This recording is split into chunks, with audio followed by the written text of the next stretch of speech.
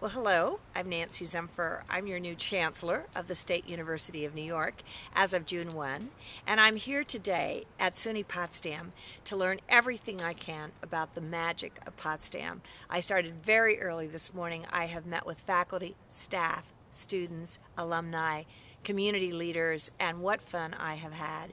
I'm most impressed about what I think is the superior individual attention you get as students, how your opportunities for leadership are just magnified at Potsdam.